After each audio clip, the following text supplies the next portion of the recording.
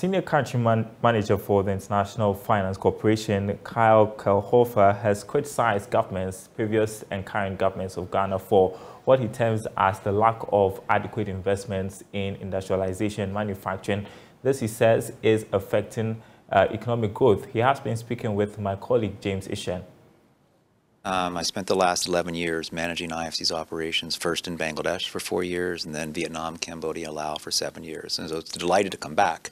Um, but the experience in those countries was profound to see how manufacturing and manufacturing-led exports has provided stability to the economy, growth to the economy, more and better jobs, particularly better jobs for women okay, and and large scale scale of exports. So, for instance, like in Bangladesh, 95% of the exports are apparel, okay, and yet you've seen the GDP per capita grown to where it's now higher than India, okay, and same thing in Vietnam, where they've grown up value chain of of export-led manufacturing growth um, and just created more and better jobs. In Bangladesh, they started out, some Koreans came and established a few companies, and for the first 10, 15 years, was primarily Korean companies. But then the Bangladesh, Bangladesh companies learned how to do this. They were supplying, and then eventually started their own manufacturing companies. Currently in Vietnam, I would say 95% of the companies are still foreign owned, for instance, but the jobs and the better jobs are for the Vietnamese. What can we do as a country, basically? Because it's it's a conversation that we keep having every day, but yet it appears we're still where we are.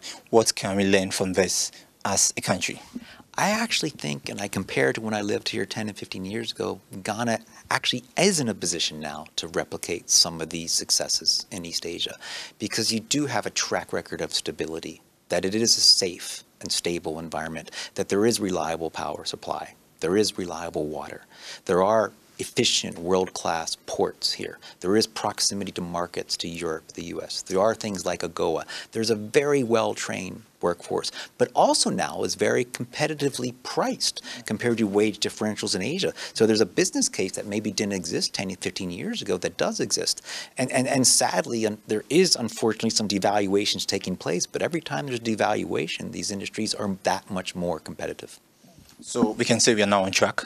I think I think we're on track, and we're seeing more start up. We have, we have DTRTs coming. We have tile manufacturers. We have some furniture manufacturers. So we're seeing these starting to take place, and let's see how it transpires over the coming years. They, they're starting off well. They're they're meeting efficiency measures on that can be compared to Asia. Um, they're having brand access to these markets. They're training up these workforce, primarily women, providing a safe, stable working environment. Um, so let, let, let's see, but I think, I think we're on track. How is the manufacturing investment in this part of our world like? Historically, it hasn't been as big, as say, as compared to, to Asia, okay? That it's been much more primary commodity, services, and agriculture.